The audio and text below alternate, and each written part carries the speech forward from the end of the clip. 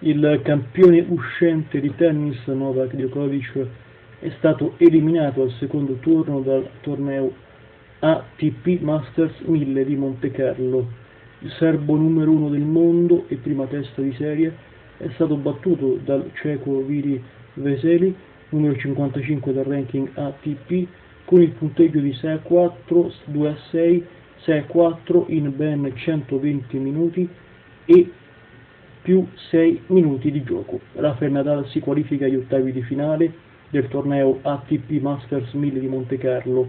Lo spagnolo numero 5 del mondo del seeding ha battuto infatti lo sloveno naturalizzato britannico Arias Bedene, numero 60 del ranking ATP,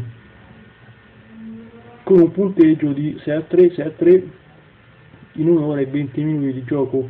Nadal vincitore 8 volte consecutive del Principato dal 2005 al 2012 affronterà, vi ricordo, gli ottavi, agli ottavi l'austriaco Dominic Thiem, 14 numero e 12 del tabellone.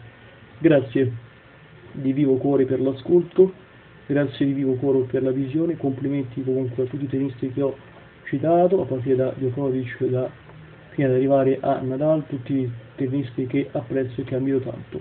Un saluto, a presto e grazie.